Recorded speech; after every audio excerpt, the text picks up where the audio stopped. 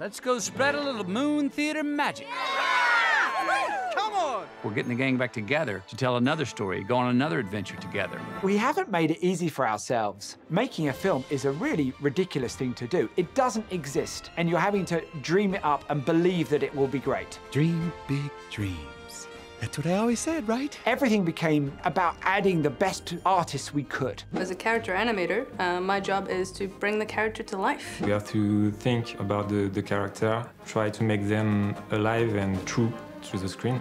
We're assigned like a rig, which is like a puppet with controls, and we move those controls around to make the character dance and sing and act and talk. Just like we rehearsed. What is interesting is to find how to be honest and how to show the real emotion of the character. So we're like the actors of the movie. Alien Tango.